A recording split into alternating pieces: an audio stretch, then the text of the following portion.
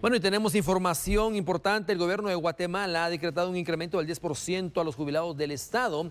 Y esto fue a través del presidente de la República en el siguiente mensaje.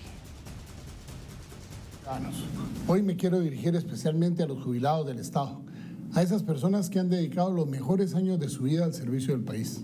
Me es grato informarles que, gracias a la sana y estable macroeconomía del país, a la buena gestión en materia de recaudación tributaria y las políticas de contención del gasto, en Consejo de Ministros hemos decidido y decretado un incremento del 10% al monto total de las pensiones de los beneficiarios del régimen de clases pasivas civiles del Estado es decir, un incremento del 10% a la jubilación de los trabajadores del Estado.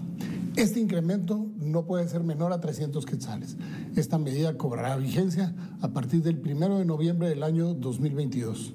Desde 1998 las clases pasivas civiles, los jubilados del Estado, esas personas que han dado más de 20 años de su vida al servicio de la nación, no recibían ningún ajuste en sus ingresos.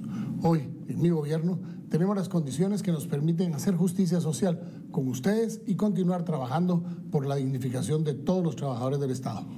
Juntos vamos avanzando. Que Dios les bendiga, que Dios bendiga a los jubilados del Estado, pero especialmente que Dios bendiga a Guatemala. Bueno, el presidente de la República, el doctor Alejandro Yamatei, dando a conocer específicamente este 10% a jubilados del Estado como parte de un incremento.